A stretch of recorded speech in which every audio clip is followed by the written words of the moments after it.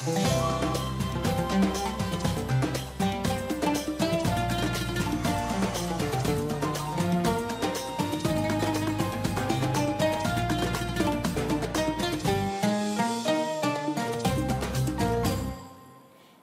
عليكم ورحمة الله وبركاته. مساكم الله بالخير مشاهدينا الكرام ويا هلا فيكم في حلقة جديدة من برنامجكم عصرية. إحنا دخلنا في العشر الأواخر من شهر رمضان اللي هل علينا بالخير واليمن والبركة. بعد التحية والسلام أسعد الله أوقاتكم مشاهدينا بالخير والإيمان والمسرات.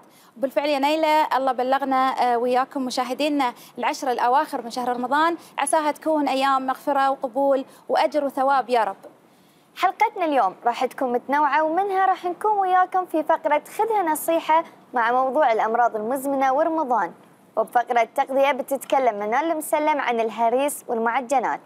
وراح نستعرض معاكم اليوم إبداعات خطية لنصوص قرآنية لعشاق الحرف العربي وبتكون لنا وقفة مع الروح والعقل في فقرة كتاب الأسبوع وبنطلع جولة مع نيلة وبنتعرف على معلومات جديدة في فقرة في السوق.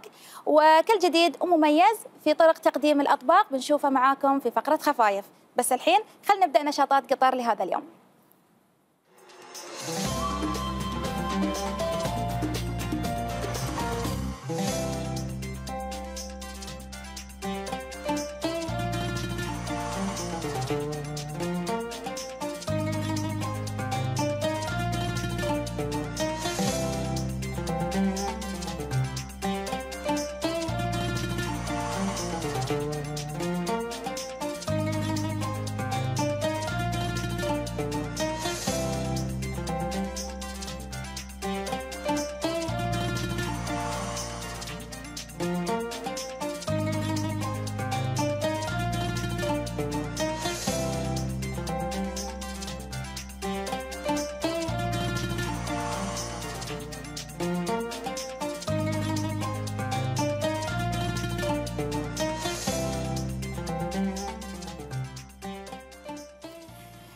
تزامنا مشاهدينا مع شهر رمضان الفضيل آه، يقيم المركز الشبابي للإبداع الفني معرض عشاق الحرف العربي واللي يتضمن آيات من القرآن الكريم ومخطوطات مكتوبة بالحرف العربي. تفاصيل هذا المعرض في هذا التقرير.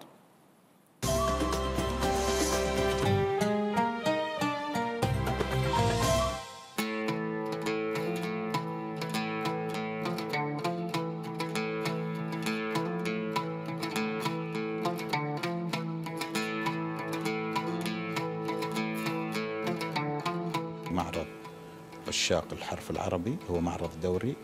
المركز الشبابي للإبداع الفني خذ سنة على نفسه إنه يقيم هذا المعرض في كل في رمضان على اعتبار أن الحرف العربي هو آه الذي يتناسب مع روحية وقدسية هذا الشهر الكريم. نحاول بقدر المستطاع أن إحنا نلقي الضوء معاكم على مجموعة من الأعمال والمشاركين. تقريبا يمكن أكثر من 40 عمل آه تم تنفيذهم خلال الأشهر الماضية ومن خلال ورش عمل مستمرة.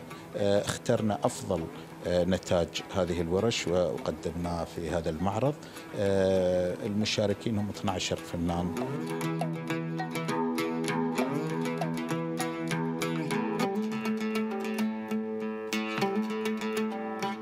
تعتبر السنة الخامسة على التوالي يقيمون على مثل هذه المعارض.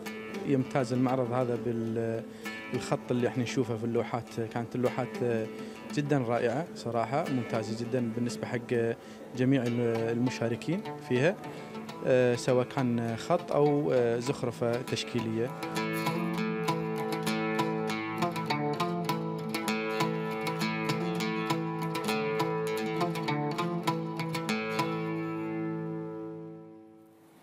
خلال الشهر الفضيل قد تزيد عوارض الأمراض المزمنة في حال لم يصغ المريض لتعليمات الطبيب والإشارات اللي قد يظهرها الجسم. من هنا تأتي ضرورة الوقاية الدائمة بعيدا عن الإهمال أو الاستسلام. حول عوارض الأمراض المزمنة خلال شهر رمضان وكيفية الوقاية منها راح تكلمنا اليوم الدكتورة ابتسام الجلاهمة اختصاصية في طب الأسرة.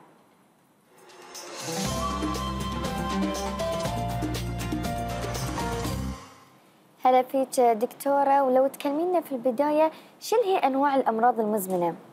يا هلا نيلة ويا هلا حصة أمسي على المشاهدين بالخير. من اسمها اسمها الأمراض المزمنة. يعني هي الزامن المريض طول حياته. وعلى الم... ما في أي شفاء تام لها. على المريض إنه يتعايش معاها ياخذ أدويته طول عمره. من هذه الأمراض المزمنة؟ أمراض السكر تكلمنا عنها من قبل. صحيح. وأفردنا لها حلقة معينة. آه، مرض الضغط مرض الربو الكوليسترول أمراض القلب. أمراض الكلى والفشل الكلوي وقصور في وظائف الكلى. نعم. إيش كثر ممكن تزيد يعني هذه يعني عوارض هذه الأمراض خلال يعني شهر رمضان؟ آه، حصة يعتمد من مرض إلى مرض. مثلا مرض الضغط. أولا على مريض الضغط أنه يتأكد قبل شهر الصيام أنه ما عنده نوبات ارتفاع في الضغط. آه، فلازم يذهب حق طبيبة ويقيس الضغط. في حال إذا في حالات ارتفاع ضغط قبل رمضان ما نشجع المريض أنه يصوم آه، طبعا مريض الضغط آه، يكون على أدوية معينة يجب أن الطبيب يغيرها في حالات معينة خاصة نحن في هال هالسنين آه، للصيام في شهر في شهر في شهور الصيف فمثلا مدر البول يخلي الجسم يفقد أثناء الصيام سوائل وايد. في أطباء نعم. يفضلون إنه يسحبون مدر البول ويبدلونه بدواء ثاني نعم. أو إنه يخففون جرعة مدر البول أو إنه يعطونه اياه المريض عند الفطور على أساس إنه في فترة بين الفطور والسحور المريض يعوض. أما بالنسبة حق مرض القلب ففي الحالات المستقرة الدراسات الطبية أثبتت ان ما في زيادة في نوع اللي هو الذبحات الصدرية. نعم. بالعكس شافوا ان في أثناء الصيام من نزول نسبة الكوليسترول تقريبا من 30 إلى 40% هذه في حالات أمراض القلب المستقرة.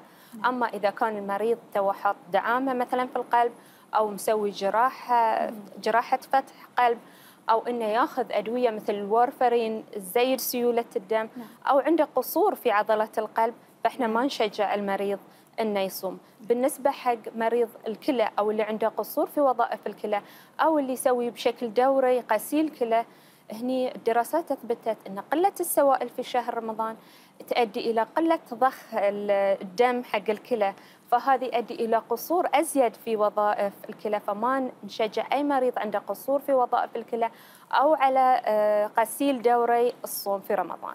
نعم وبالنسبة حق اللي فيهم الربو؟ أي. بالنسبة حق اللي فيهم الربو إذا كانت الحالة مستقرة شنو يعني مستقرة؟ مستقرة قبل رمضان إنه ما يصيده حالات ضيق في النفس كحة صوت في الصدر عند التنفس أي ضكة في الصدر فهذه ما يمنع إنه يصوم آه، طبعا نظريا نعم. يقولون إن قلة السوائل في في الدم بسبب الصيام تخلي جف... آه، تخلي في جفاف في القصبات الهوائية. هذه نظريا لكن الدراسات الطبية أثبتت إن ما في زيادة في نوبات ال- ال- الربو أثناء الصيام بحيث إن المريض لازم يستخدم الواقي مرتين في اليوم. نعم. طبعا مر- المرضى مرضى ال- ال- الربو يعرفون شنو هو الواقي. نعم. يستعمل مرتين عند الفطور عند السحور. اللي هو البخاخ. البخاخ نعم. بخاخ البنفسجي المدور، أو البنفسجي. اي البنفسجي. هذه الواقي. أما في البخاخ الرمادي الفنتولين نعم. اللي يستعمله المريض عند اللزوم في نعم. حالة النوبات هذه عادي يستعمله حتى لو هو صايم لأن اجتمعوا العلماء انه هو ما يفطر لأن يفطر. معظمه يروح نعم. في الجهاز التنفسي وليس في الجهاز الهضمي بالفعل يعني هذا كان سؤالي يعني البخاخ يفطر ولا لا؟ لا ما يفطر. آه، زاد ان إن في حالات آه، يقتضي إن هم يعني يوقفون الصيام طبعا إذا منهم. صادت مثل حاله حالة النوبة قاعد ياخذ بخاخ ما قاعد يصير أحسن المريض للحين عنده ضيقة في التنفس آه، صوت في الصدر نعم. هذه عليه إنه يوقف الصيام ويروح آه، إلى المستشفى أقرب مستشفى إذا كان مركز صحي تابع له مغلق. صحيح. آه، يعطونا اللي هو بخاخات وأدوية في البخاخات يعطونا إبرة بالوريد عشان تخفف. هاي تعتبر نوبة والنوبة نعم. في هذه الحالة إذا ما قاعدة تستجيب حق البخاخ العادي يعني هاي شيء طارئ يجب إنه يذهب للمستشفى. طيب آه، دكتورة هذه بالنسبة لمرضى مريض الربو. نعم. الحالات الأخرى غير يعني مثلا من الأمراض اللي ذكرتيها ويستوجب إن هم يعني يوقفون عن الصيام. نعم. بالنسبة حق مريض الضغط. مثل ما قلنا بسبب إنه هو قاعد ياخذ أدوية ما في سوائل في الدم، الجسم قاعد يفقد سوائل في التنفس في التعرق. فساعات يفقد الجسم أملاح نعم. فينزل الضغط ويحس المريض بهبوط. إنزين دوران في الرا- في الراس مرة واحدة تعبان. ساعات في حالات تؤدي إلى الاغماء آه، نعم. ففي هذه الحالة لازم يوقف الصيام يذهب إلى الطبيب يشيك تشوف ضغطه آه، كم؟ على أساس إنه يغير له الطبيب حق المستقبل عشان ما تصيده هاي النوبه في حالات عادية مثل الناس العاديين مو بلازم إنه فيهم أمراض مزمنة. إذا ما كانوا يشربون بين السحور والفطور سوائل كفايه آه، وخاصة إنه ما يطلب أو ان شغلهم برا هذه يمكن يؤدي إلى الجفاف. نعم آه، ففي هاي الحالة مثل ما قلتي ساعات تؤدي مثل ما قلت تؤدي إلى إغماء. فلازم يكسر هني ما ما. يحط على روحه نعم ويكسر صيامه ويشرب السوائل في حالة صاد الاغماء إحنا الغلط إن نشيل المريض آم، لا خل نخليه المفروض خلي مستلقي نعم. مستلقي ونرفع ريلة على أساس إن الدم آه، ينزل الرأس. في شيء آه، نقطة وايد مهمة إحنا ذكرناها في في الحلقة القبلية بس بالنسبة حق مريض السكر، مريض السكر يعرف طبعا إنه يكسر صيامه في حالة الهبوط بس في آه، مرضى كثير من أمراض السكر وتينا حالات الحين في العيادة. إنه ما يعرف إنه اذا إذا السكر عالي وازيد من 300 يجب إنه يكسر وما يواصل صيامه. آه، دكتورة لو تكلمينا عن يعني الحين خصوصا في مرضى الضغط ومرضى الربو هل لازم يكونون معاهم الأدوية دائما وشنو هي الآلات اللي يستخدمونها خصوصا الحين يعني اللي فيهم الربو والمزمن طبعا الم- المريض الربو المزمن مثل ما قلت لك يخلي له اللي هو الفنتولين. أو ال- اللي هو الأدوية الرمادي هم يعرفونه. هذه دائما يكون في جيبه على أساس من تجي له النوبه لازم يبخ على الأقل بختين حتى يعني لو هو صايم. دكتورة لازم يكون معاه دائما يعني سواء كان موجود في شغله في نعم. السفر نعم. في أي مكان. ودائما يحط الثنتين آه، لو ضاعت واحدة تكون عنده الثانية. بالنسبة حق مريض الضغط لو حس بهبوط من الضروري إنه يشرب ولا مانع إنه يحط مثلا نص ملعقة ملح أو نعم.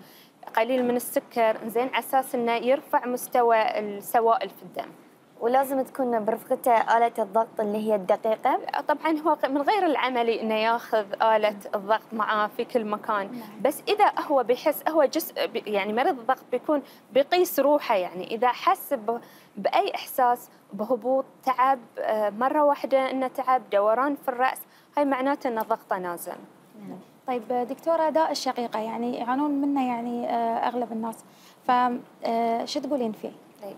طبعا صداع الصداع الشقيقة يعني إحنا في رمضان الناس العادية تعاني من الصداع وذلك لأسباب آه، يعني مختلفة منها إن الجوع آه، في رمضان.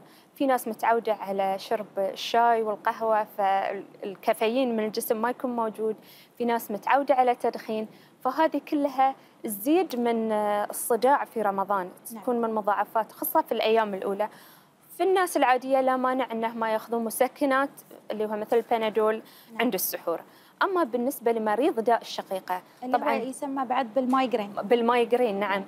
هذه حالات يعني آه، جدا مزعجة ألم شديد جدا بعض الناس من كثر الألم يتقيؤون. صحيح. آه، ففي هذه الحالة إذا عنده قبل رمضان نوبات شديدة ما نشجعه أنه هو يصوم رمضان. أما بالنسبة ل- آه، آه، إذا عنده نوبات ويبي يصوم في أدوية وقائية الحين آه، معظم مرضى الشقيقة يجهلونها. هذه الأدوية تؤخذ بشكل يومي. قبل رمضان. قبل رمضان. نعم. وطول حياته يقدر ياخذها المريض نعم. شافوا أن أدوية من آه، أنواع أدوية الضغط هي تعتبر أدوية وقائية حق مريض الشقيقه نعم في أدوية من آه، أدوية ال- المضادة للاكتئاب نعم. هي أدوية وقائية لمريض الشقيقة نعم. أدوية مضادة للصرع ما يستعملها حق الصرع بس يستعملها كوقاية حق آه، داء الشقيقة نعم آه، طبعا مرضانا في الخليج ما يفضلون لا اللي هو مضاد الاكتئاب ولا مضاد الصرع نفضل أن نعطيهم اللي هو أدوية الضغط ياخذونها يقدرون ثلاث مرات يوميا. وبيحس المريض عقب إنك هذه النوبات بتخف بشكل كبير. طيب هل هناك في آه، يعني أكلات معينة يتجنبها ال- المصاب بداء الشقيقة؟ طبعا هو المريض يعرف شنو هي الأكلات لأنه بيشوف إنه من يأكلها تصيده نوبة الشقيقة. بس اللي موجودة في الكتب واللي تنقرا في الكتب الطبية اللي هو آه، المريض داء شقيقه بأكل الجبن وأنواع الجبن آه، بالشوكولاتة شوفه الشوكولاتة. الشوكولاته في ناس تزيدها آه، في أدوية معينة المريض هو لازم يعرفها ان هي زي زي يعني لما ياخذها بيشوف إن النوبات تزيد في ناس لما يزيد البوتاسيوم مثل لما ياكلون موز نعم. تزيد نوبات فهذه يحاول إنه هو يتجنبها ويكون هو يقيس آه، روحه بروحه. صحيح. نعم. آه، دكتورة بس بالنسبة حق ال- الإمساك والقولون آه، شنو العلاج اللي لهم وخصوصا بعد الحين خلال صيامهم في شهر رمضان؟ بالنسبة حق الإمساك من المضاعفات الشائعة في رمضان. لأن قلة السوائل مريض د- أو ال- ال- الصائم العادي آه، ما يشرب سوائل كثيرة دائما نعم. ينساها بين الفطور والسحور. آه، إحنا وايد نغفل في رمضان حقيقة إن إحنا نهمل الفواكه نهمل الخضروات. فهذه يس- يسوي مريض أو الصائم العادي أكثر عرضة حق الإمساك. آه، طبعا إحنا ننصحه ننصحه يا- ياكل خضروات. آه، ياكل فواكه إذا ما طبعا في سكر. إنزين آه، بس إذا ما قاعد ينفع ذي في أدوية في الصيدليات أو مو بأدوية هي عبارة عن ملينات بس عبارة عن ألياف. حتى يعني ريحتها مثل قشر البرتقال. نعم. هذه ياخذها يوميا عند السحور أو عند الفطور تساعده إنه هو تنظم آه، ال- ال- ال- يعني يتخلص من الأمساك. نعم. نعم. في شيء ثاني إنه هو نسينا اللي هو مرض الارتجاع اللي أيوة. يصيدهم أو أيوة. الحرقان. أو هذه الحموضة اللي يسمونها الحموضة. اي نعم. آه ال reflux كان. ال reflux نعم. هذه في رمضان تزيد هي من المفترض انها هي ما تزيد لأن المعدة تكون خالية خالية. فالحموضة تقل لكن سبحان الله الإنسان من يفكر في الأكل لأنه هو يعان ومن يفكر نفسياً أو يعني، نفسيا نفسياً. أو يشم ريحة آه، الأكل فتزيد العصارة وتكون المعدة نعم. خالية فيزيد آه، اللي هو الحموضة في هاي الحالة ننصح المريض إذا كان هو على أدوية حموضة ياخذها خصوصا عند السحور لأن نعم. بتكون عقب وراه ساعات صيام طويلة نعم آه إنه ما ياخذ الأشياء المقلية مثل إحنا طبعا عندنا وايد في أكلاتنا المقالي، أيوة. المقالي مثل السمبوسة أو القطايف يقدر يشويها بالفرن نعم آه، طبعا آه، إذا الأشياء الحمضية مثل عصير البرتقال آه، عصير الليمون هذه تزيد الحموضة صحيح. في المعدة عند النوم ما ينام آه، بشكل آه، مسطح مسطح ي- يحط آه، وسادات بشكل وينام مائل. أيوة. مش بشكل مايل عشان ما ترجع العصارة إلى نعم. البنات طيب دكتورة كل هذه الأمراض أو العوارض اللي يعني ذكرناها إيش أهمية أن ال- المصاب أو المريض فيها يستشير طبيب وما يروح يعني مثلا من نفسه يعتمد على مسكن ولا يعتمد على استشارة صديق مثلا طبعا أي. طبعا وفي مرضى ترى يا حصه يعاندون آه، فلازم المريض إنه قبل رمضان يتأكد من طبيبه. إذا هو مريض ضغط يعدل من جرعاته. مريض مريض المايجرينا والشقيقة يبتدي على جرعات وقائية. آه، وطبعا أهل المريض اللي دار مداره لازم يوعون ويشجعونه على إنه هو يفطر إذا صادته أي وعكات صحية. آه، دكتورة ابتسام شكرا نشكرك على هذه المعلومات اللي يعني منك إن شاء الله وصلت لمشاهدينا إن شاء الله. مشاهدينا. بعد الفاصل بنتكلم عن نوعين من الأكلات الشعبية الهريس والمعجنات في فقرة تغذية تابعونا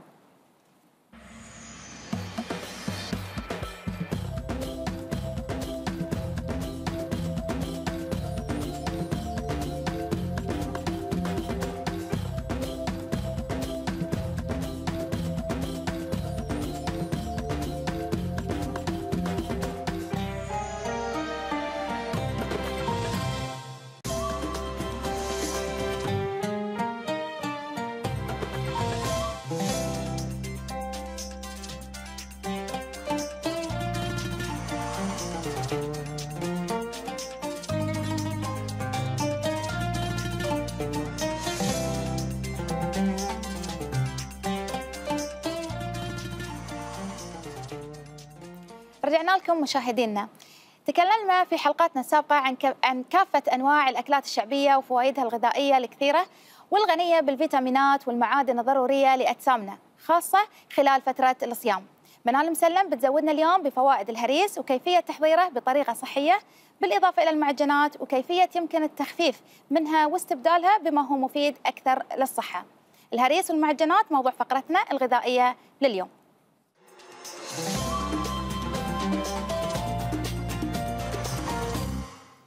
يا هلا منال. بداية ما هي أهمية الهريس؟ هلا ومرحبا. وفوائده الصحية اللي تهمنا بسم الله الرحمن الرحيم. طبعا تعتبر الهريس أكلة شعبية مفضلة ومحببة لدى الجميع خصوصا في شهر رمضان المبارك. آه، تكمن فائدة الهريس فإن القيمة الغذائية للهريس تحتوي على البروتينات المتمثل في اللحوم أو في الدجاج. آه، أيضا على تحتوي على كمية من الدهون وكمية قليلة من الألياف بالإضافة إلى بعض الكالسيوم وبعض الفيتامينات كالفسفور والحديد وفيتامين المعادن مثل الفسفور والحديد وبعض الفيتامينات مثل فيتامين ب وفيتامين ألف وكلها مفيدة للصحة وتعتبر وجبة مغذية ومفيدة إذا آه، تم تحضيره بطريقة صحية. بطريقة صحيحة. إذا شنو هذه الطريقة الصحيحة؟ آه، طبعا يتم تحضير الهريس بطريقة صحيحة. أول شيء إذا كان آه، بالهريس اللحم نزع ال- ال- الشحم الأبيض بالكامل نعم. وتنظيفه كاملا وبعدين آه، سلق ال- اللحم أو غلي ال- اللحم بدون الشحم الأبيض نهائي. نعم. ثانيا ال- طبعا إحنا نعرف أن الهريس لأنه يضاف يضاف له الدهن العربي. صحيح. نستبد ممكن نستخدم الدهن العربي لكن ال- المسح, المسح. الفرشاة. نعم. أو ممكن آه، في البعض يستخدمون زيت الزيتون. صار قام بعض الناس يحبون طعمه بزيت الزيتون. نعم. واللي ما يحب طعمه بزيت الزيتون إن بطريقة المسح فقط. يعني ما أن نترس الملة ب- بأكثر من ربع معلقة آه، نعم. معلقة الأكل من الدهن.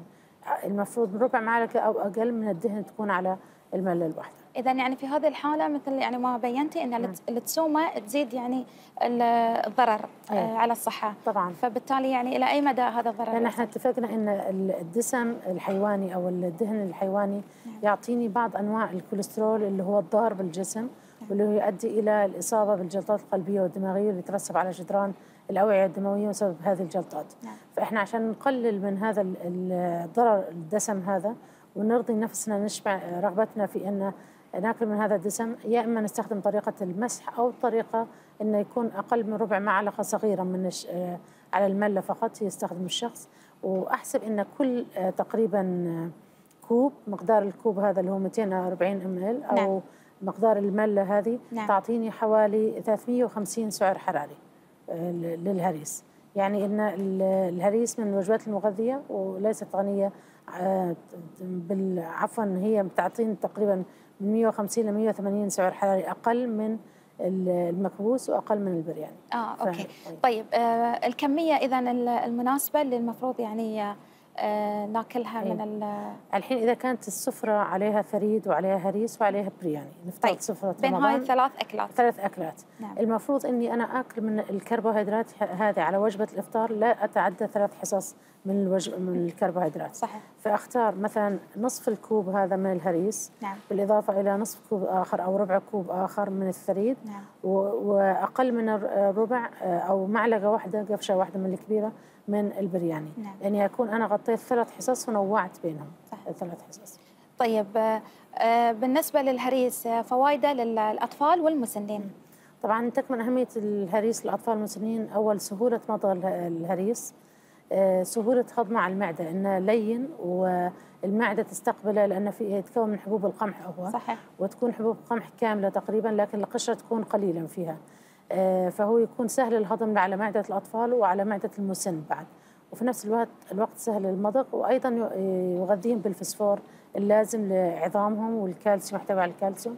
بالإضافة للبروتين يعني ممكن- في فترة النمو. آه، تكلمنا من كم من يوم منال عن الشربات فممكن يعني مثلا أنا أشرب الشوربة وبعدها يعني ممكن آه، الهريس ولا أكتفي ب- بواحد فيهم بس؟ لا الهريس تعتبر وجبة يعني. وجبة تعتبر. أيوه والشوربة تعتبر من ال- الأشياء المقبلات اللي تلين المعدة أو تعد المعدة لاستقبال الوجبة الرئيسية. نعم. فممكن تكون الهريس وحده هو وجبة بالإضافة إلى صحن شوربة وصحن سلطة تكون وجبة كاملة متكاملة يعني. طيب الحين آه، آه، ننتقل يعني إلى المعجنات. آه، معجنات هل هي يعني من وجباتنا ال- أو أكلاتنا الشعبية ولا يعني عادة من العوائد اللي تعودنا عليها؟ لا هي طبعا هي من الأكلات الدخيلة على وجباتنا الشعبية. ما نقدر نعتبرها من الوجبات إحنا اتفقنا إن الوجبات الشعبية غالبيتها صحية. صحيح. فهي من العادات من ال- الوجبات الداخلية اللي دخلت علينا مع التمدن الج- الجديد. تتميز الفطاير نقدر يعني نحكم عليها إنها من الوجبات بالعكس السريعة لأنها هي قليلة ال- الحجم وفي نفس الوقت تعطيني سعرات حرارية آه، كبيرة. طيب آه، بس آه، يعني هي لها مضر. إيه. أكيد في هناك لها مضار شنو هي مضارها أهم مضار ال- المعجنات إن مثل ما قلت لك الحجم الصغير هي تقريبا حوالي 30 جرام. نعم. يعطيني سعرات حرارية تتراوح بين 105 خمسة سعر حراري ل 150 حسب نوع ال- الفطيرة نفسها والحشوة اللي بداخلها. نعم. فهي آه، كمية بسيطة وتعطيني سعرات حرارية تقريبا حوالي 100 سعرة حرارية أو 150 سعرة حرارية. إحنا اتفقنا الوجبة كاملة تكون بمقدار 500 سعرة حرارية يعني وجبة ال- الف- الإفطار كامل المفروض ما تعدى على 500 أو 600 سعرة حرارية. فلو الشخص بياكل له أربع فطاير من هذه بياكل 400 سعرة حرارية. نعم. وهو مش منتبه. يعني كل وجبة كامله المفترض لها من السعرات الحرارية آه، وإحنا ما ناكل أربعة ناك- ناكل نعم. خمسة ناكل ستة ممكن يعني أنا ممكن الحين آخذ. من كل حبة مم. لو أخذت من كل حبة من هذه الأنواع اللي عندي فمعناته أنا ممكن أوصل إلى أكثر وجبة أكثر يعني لو عدينا مثلا نوع نوعين اي ثلاثة أربعة خمسة ستة. سبعة سبعة تقريبا. تاكلين 700 سعر حراري اي وأنت ما تدري. بعد ما اكل شيء في اليوم خلاص. اي خلاص. إيه يعني هو المعدل للمرأة المفروض يكون 1500 سعر حراري ل 1800 وللرجل من 1800 ل 2000 حسب مع عمر الشخص ومقدار نشاط الشخص. يعني الرجل المتقاعد تكون أقل 1800 سعر حراري الرجل اللي يشتغل نعم. يكون 2000 سعر حرارية المرأة كذلك يختلف إذا كانت هي حامل إذا كان عمرها صغير. إذا كانت كبيرة فيختلف من شخص لشخص. طيب. ووزن الجسم. لو جيت أنا حصلت هذا قدامي هذه الأنواع كلها قدامي ممكن إن أنا اتنقى أحسن نوع؟ مثلا آه، معجنات بالسبانخ كون ان السبانخ مفيده للجسم. المعجنات المحت... اللي تحتوي على الخضار هي أقل يعني سعرات حرارية من معجنات الجبن أو معجنات الزعتر. مم. لكن أنا ممكن أحضر المعجنات بطريقة صحية. شنو هي الطريقة؟ الطريقة الصحية إني أنا مثلا أست... بالنسبة لمعجنات الجبن أستخدم جبن منزوع الدسم. نعم. أو قليل الدسم إذا كنت بقدمها للأطفال أو منزوع الدسم إذا كان للكبار. أستخدم في نفس العجينة ما أزود ما أستخدم زبدة أو سمن أستخدم الزيت النباتي وأحاول قدر الإمكان أقلل من كمية الزيت في الوصفة. طيب هذه نفسها. أنا طبختها في البيت. إذا أنا سويتها في البيت وأحاول أستبدل طحين البر مع ال- الكل ما يحب اللون البني.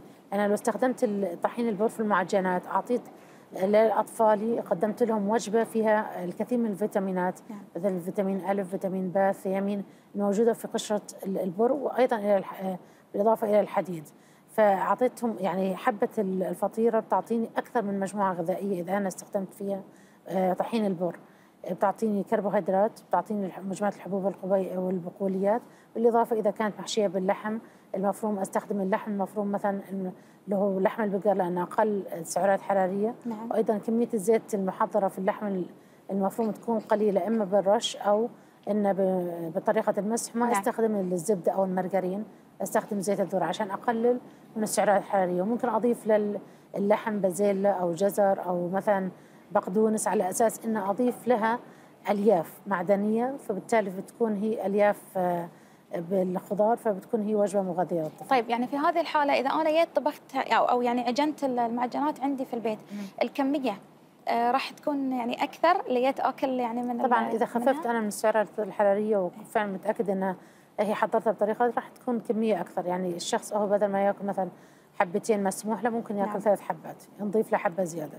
لأن حضر واذا بعدين في ناس تضيف لها شوفي مثل السمسم فهذا بيضيف من السعرات الحرارية. أو في ناس تمسح عليها بالبيض على أساس تعطيها لمعة أو تعطيها شكل أفضل. برضو هذا يزيد من السعرات الحرارية فيها قيمة السعرات الحرارية فيها. فكل ما قللت من استخدام الدهون أو في تحضيرها كل ما كانت السعرات الحرارية للمعجنات أقل وكنت استطاع الإنسان إنه يتناول منها أكثر.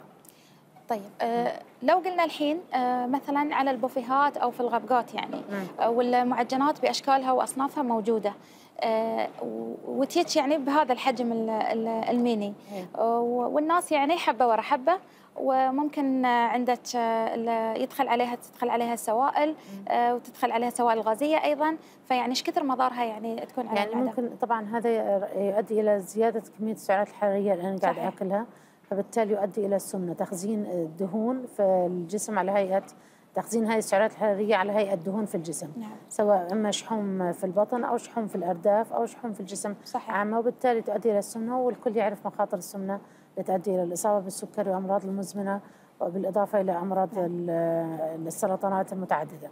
فقدر الإمكان إني أنا في البوفيه لما أكون أحاول أتجه للخيار الصحي وآخذ لو أبي عندي عدة خيارات من المعجنات أو الكرواسون أو الحلويات آخذ نوع واحد حصة واحدة منها. نعم. على أساس إني أنا قاعدة آكل طاقة من مصدر ثاني. صحيح. يعني أحاول قدر الإمكان أقلل من النشويات بقدر الإمكان خصوصا في البوفيه.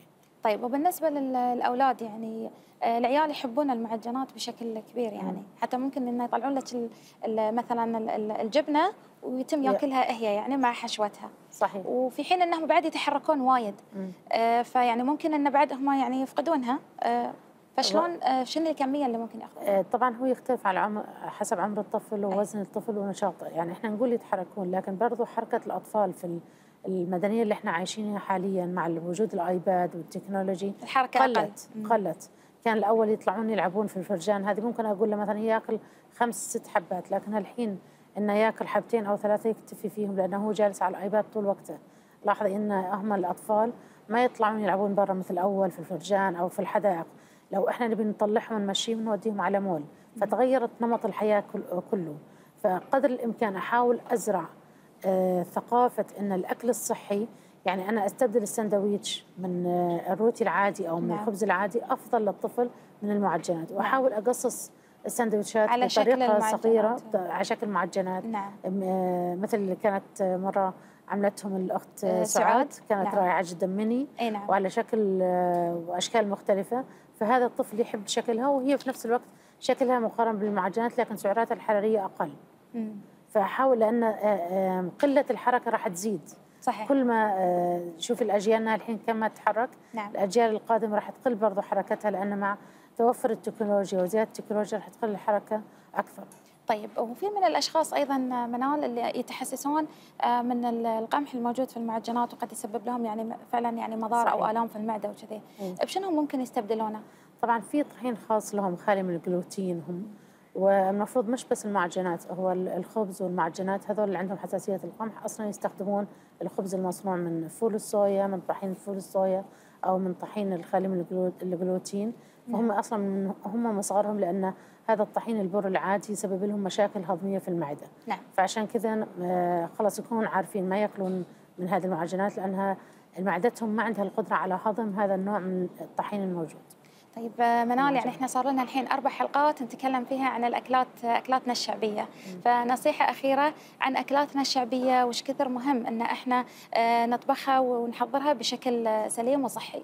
والله أنا أوصي أن كل أم تتمسك بالأكلات الشعبية قدر المستطاع. نعم. وتحبب أطفالها فيها قدر المستطاع. وتحاول أنها تتفنن في تقديمها على أساس آه، آه، أقدمها للطفل بشكل سريع. نعم. وأستغني عن الوجبات السريعة لأنها هي المفيدة. نعم. يعطيك العافية منال. وما قصرتي. وإن شاء الله يعني أكيد مشاهدينا آه، خذوا منك ال- ال- الفائدة والمعلومة المفيدة. إن شاء الله. مشاهدينا بعد الفاصل بنكون مع فقرة جديدة من خفايف سعاد آه، تابعونا.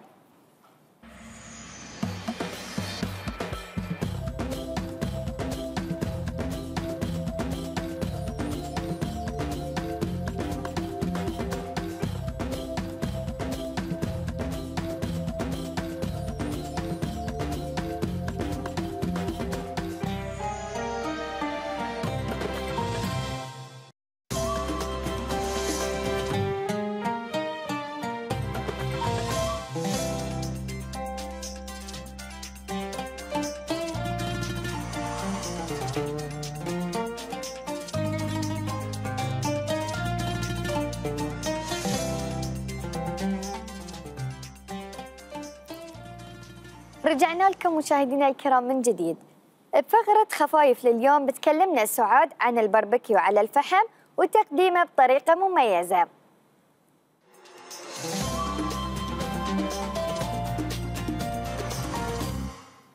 هلا فيك سعاد شو أخبارك؟ تمام الله يخليك. آه سعاد أنت اليوم راح تكلمينا عن الباربيكيو على الفحم. الباربيكيو على الفحم. لو تقولين لي آه شنو اللي راح نسويه اليوم بالضبط؟ آه راح نسوي باربيكيو على آه، على الفحم أيوه. اللي هو يعتبر من المشويات. تدرين الناس رمضان و... تحب المشاوي. وتحب المشاوي والكباب في كل مكان. فأنت تقدرين أنا وأنت والخوات إن إحنا نجهزه بال- في البيت بطريقة سهلة ومبتكرة. وشلون وأنا اليوم راح اراوج شلون راح نسوي التتبيلات وشلون راح نقدمها بطريقة مميزة يعني. طبعا كل شيء مشوي. أيوه. كل شيء نحطه على الفحم الفحم يعتبر مشوي. مشوي. فعندنا أشياء متعددة اللي نقدر إحنا نشويها الدياي آه، الكفتة اللحم الريش الأشياء البحرية اللي هي الروبيان عندك أم الروبيان القباقب أي شيء ممكن. انت تشوينه. أيوه. أنا اليوم اخترت آه، أشياء اللي راح أتبلها معاك. آه، اخترنا الدياي اخترنا الروبيان اخترنا قطع اللحم اللي يسمونها شقف اللحم. أيوه. واخترنا الكفتة. آه سعاد بس بسألك شنو نوع اللحم اللي اخترتيه؟ آه، هني عندنا هو لحم العجل. آه، يتميز إنه هو يكون بدون دهون بدون شحم آه، وطبيعته تكون نوع اللحمة شوي ناشفة. أيوه راح في بعض صحي. الخوات اي ما يعني وأنا واحدة منهم من النوع اللي ما نحب اللحمة تكون ناشفة يعني آه، تكون فيها شحمة تعطيك شوي إنها تكون لينة مش يابسة. أيوه. أيوه. واللي ما يحبوا مثلا يستخدمون نوعية هاللحم هل يقدرون يستخدمون نوعية ثانية؟ اي في لحم الغنم هو يدش مع الشحم. آه هاي يعني يكون آه خالي من الدهون حق الناس اللي مسويين آه، رجيم. وفي ناس لا تفضله يعني تفضل ان هي تاكل لحمة العجل. يعني أنت الحين أعطيتيهم نصيحة حق اللي مسوين رجيم إنهم يأكلون هاللحم. أيوه. وهو عادة إنه هو حتى نقطعه بطريقة مربعة أساس لأن نسكه في ال- الحديد. في الاسياخ وهالاشياء يكون شكله حتى في التقديم مرتب. نعم. فالحين إحنا راح نبلش في شقف اللحم راح اراويك شلون راح نتبلها. يلا بني نبتدي باللحم. أيوه. راح نحتاج له البهارات نحط رشة ملح. طبعا بعد ما قسناه عدل. أيوه. وعادة اللحم نحاول إن إحنا نقعه شوي في الماي لما يطلع الد- الدم اللي فيه كامل. نحط رشة فلفل أسود. مهم. وكم المدة اللي يعني النقعة؟ كل ما خمرتيه زيادة نقعتيه بفترة يعني مثلا إذا انت بتش بتشوين بكرة حتى لو بتتبلينه اليوم. أيوه. راح يكون أحسن وخاصة مع اللحم لأن اللحم يبي له وقت لما يستوي.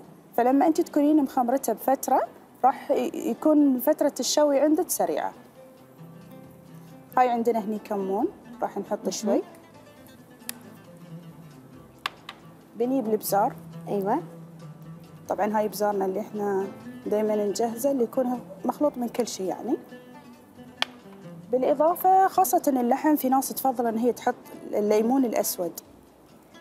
ليش؟ في ناس تحطه بقطع كبيرة تكسرها وفي ناس تحطها بودرة. وليش يعني يفضلون يحطون هالليمون؟ يعطيك طعم خاص حق خاصة حق الكباب. كباب اللحم أو الشقف أو التكة دائما يحاولون يضيفون الليمون الأسود. نعم. رشة ملح الليمون عشان يعطينا حموضة. أيوه. وفي ناس تفضل إن هي تحط الفلفل على أساس تعطيك الكباب يكون حار وفي ناس لا تستبعده. فإحنا بنحط رشة فلفل أحمر. بالإضافة حق الروب. راح نحط روب. أيوه. هل يعني نقدر مثلا غير الروب نحطه مع اللحم؟ التتبيلة؟ التتبيلة لازم تحطين فيها روب. ممكن أنت تستبعدين وما تحطين روب. أها. وممكن أنت تحطين. فأنا أتميز يعني دائما في تتبيلاتي إن أنا أحط الروب.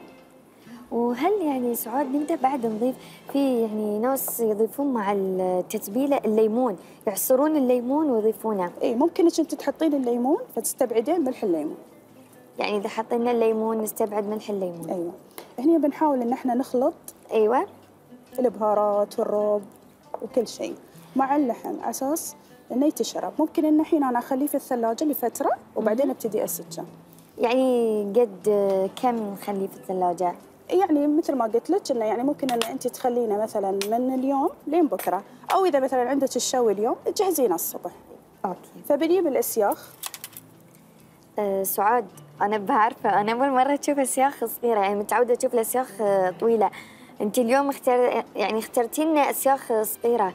اخترت الاسياخ الصغيرة. هي كانت كبيرة بس أنا صغرتها يعني وديتها عند ال- الحداد وهو قصهم لي لأن أنا ابيهم اليوم يكونون صغار. أه سعاد لازم هم يكونون حديد لأن بعد أنا شفت آه، في أنواع من الجمعيات آه، أسياخ الخشب. الخشب ما راح تصلح حق النار يعني ما راح تصلح إن إحنا نشوي على الفحم. فنبتدي نسك بهالطريقة. أيوة. يكونون متلاصقين. متلاصقين. ممكن إن انت حتى إذا انت حابة قطع الشحم تحطين بين كل فت... كل واحدة والثانية قطعة شحم. قطعة شحم. بهالطريقه هاي ال- هاي بالنسبة الحين للحم. اللحم. الحين بيني أنا وياك نجهز الدياي الدياي أنت اللي مجهزة. أعطيني عنك أنا حطيت تحت تتبيلة الدياي راح تكون نفس تتبيلة اللحم. تقريبا ممكن انك انت تتبلينه بنفس آه، بنفس الطريقة. وممكن تضيفين أشياء لها زيادة وممكن تستبعدين أشياء. يعني الحين مثلا الدياي هني عندنا صدور الدياي ممكن إن انت تسوين الدياي جوانح أفخاذ آه، صدور كاملة. بس أيوة. إحنا لأن راح نسويها بقطع آه، شقف يعني راح تكون نفس الشيش طاووق تقريبا. نعم. فيكون هني عندنا الدياي مقصصينه ومغسلينه. راح نجيب نفس الطريقة البهارات. البهارات اللي استخدمناها. اللي استب- اللي استخدمناها هناك ممكن أنت تستبعدين. اني بنحط الإبزار. أيوه. بهالطريقة. والملح. وبنحط الملح. وبنضيف الفلفل الأسود. ممكن إنك أنت تضيفين الروب وممكن تستبعدينه. إحنا اليوم بنستبعده بس ممكن إنك أنت تحطينه. يعطيك طعم أحلى وألذ. راح نضيف الليمون. وراح نستخدم الفلفل الحار مع الدياي. أيوه. إذا انت حابة إنه يكون حار بتضيفينه. بس ان إحنا راح نستبعد ال- الليمون الأسود. وليش راح- ما أيوة. يعطينا ما يسوي الدياي عندنا لونه أسود. Okay. نخلط جميع المقادير مع بعض. تحاولين تخلطين البهارات كلها. إذا ح... إذا حابة تحطين الروب بنضيفه إذا ما حابة تحطين الروب ما راح نضيفه. إحنا الحين ما راح نضيف الروب لأن ضفناه في اللحم. أيوة. خبروا المشاهدين شلون يعني بالدياي حتى يقدرون إنهم يضيفون الروب أو ما يضيفونه. أيوه. هني بنبتدي نسكه بنفس الطريقة. أيوه.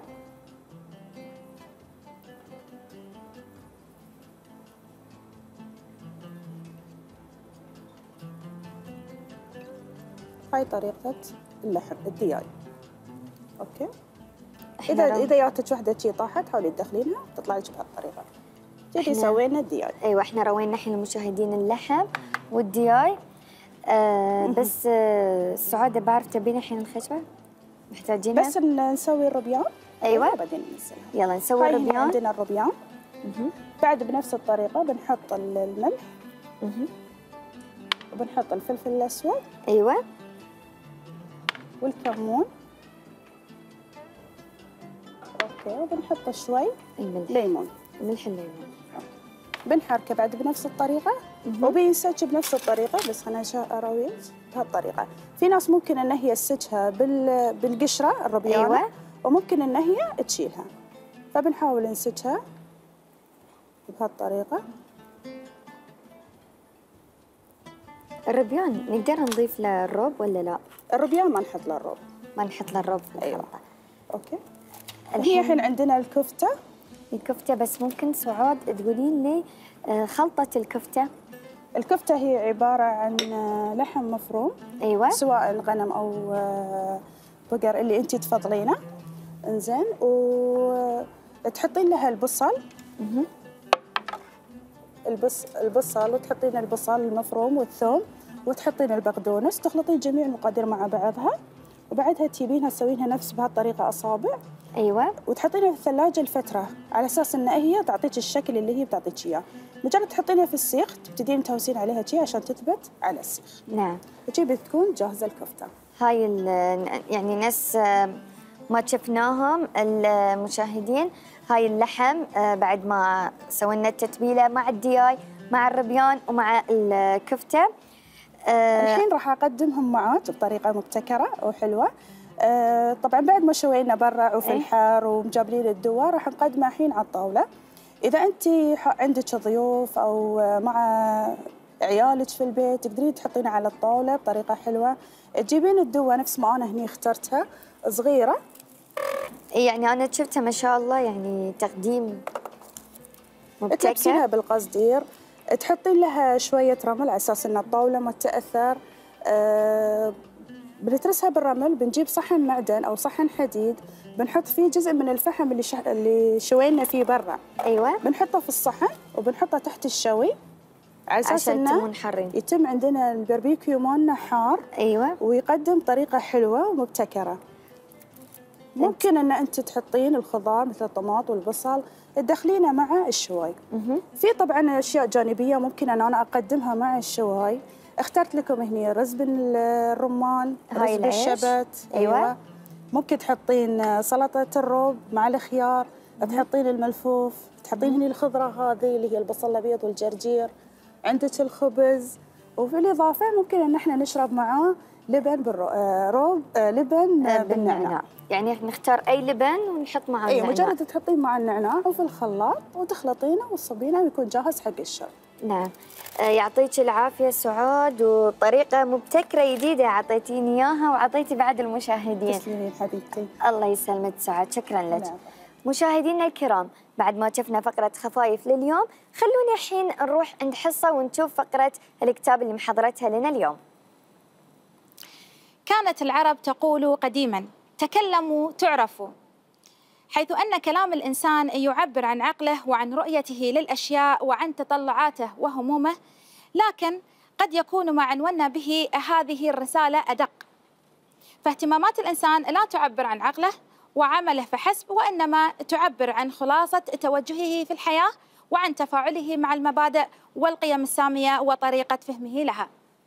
هذه الرسالة تأتي ضمن مجموعة من الرسائل الأسبوعية آه، التي أرسلها الدكتور عبد الكريم بكار إلى قرائه عبر البريد الإلكتروني واللي جمعها آه، لاحقا في كتيبين عنوانهم وقفات للعقل والروح.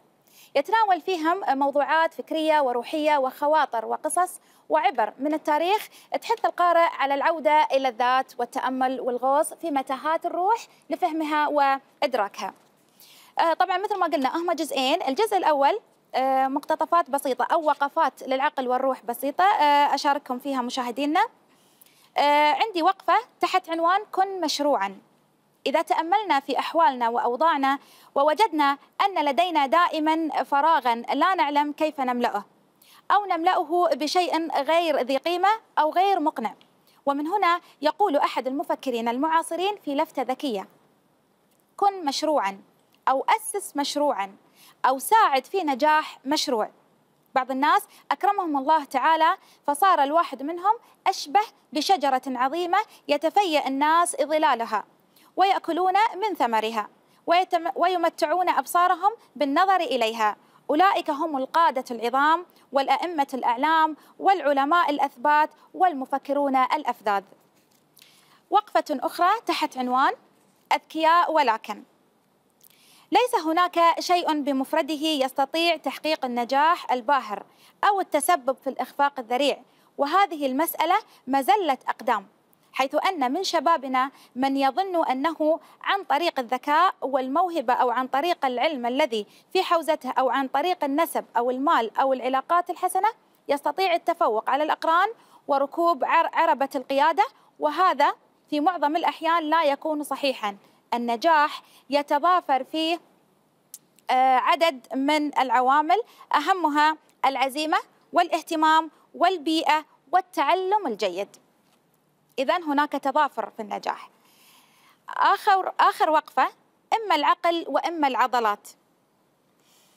روح العصر تقوم على الاختصار من الجهد البدني إلى الحد الأدنى والعمل على جهد الجهد العقلي آه، على جعل الجهد العقلي في غاية الفعالية. ولهذا فإن الواحد منا كلما وجد نفسه في أعمال تقوم على استخدام العض- العضلات دل ذلك على حاجته الماسة إلى المزيد من التعلم والمزيد من المهارات العقلية. اذا المهارات العقلية ثم العضلات. وهذه هي وقفات للعقل والروح. تذكير باسم الكتاب آه، والكاتب وقفات للعقل والروح للدكتور آه، الأستاذ الدكتور عبد الكريم بكر. جزئين الجزء الأول والجزء الثاني.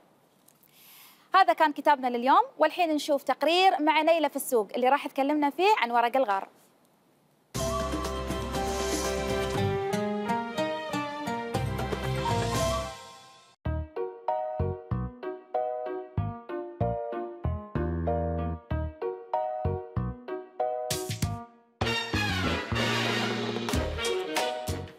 السلام عليكم ورحمة الله وبركاته. حياكم الله مشاهدينا الكرام من جديد. أنا اليوم راح أكلمكم عن ورق الغار. ورق الغار هي كانت شيرة كبيرة معمرة يطلع منها الحبوب ويطلع منها بعد أوراق الغار. الحبوب مشاهدينا يعني مكونة نفس آه، نفس حبات الزيتون. موطنه الأصلي من البحر الأبيض المتوسط. يستخدمون ورق القار عشان يشيلون الاسفرز سواء كانت من اللحم إذا نقعنا اللحم أو نقعنا الدياي أو نقعنا السمك. هاي ورق الغار له طعم مميز. نضيفه بعد في أكلاتنا. ويستخدمون ورق القار في صناعة الصابون وبعد يستخدمونه في الزيت. هاي كان كل اللي عندي عن ورق القار. أشوفكم إن شاء الله على خير. فمان الله.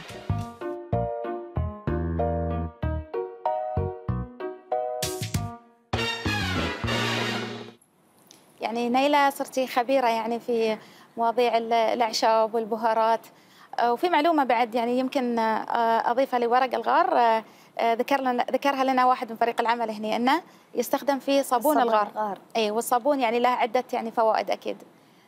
حصة يعني خلال جولتي أه، في السوق وتعرفت على البهارات وفي معلومات أنا كنت ما أعرفها أمانة يعني عن ورق القار بالذات نعم.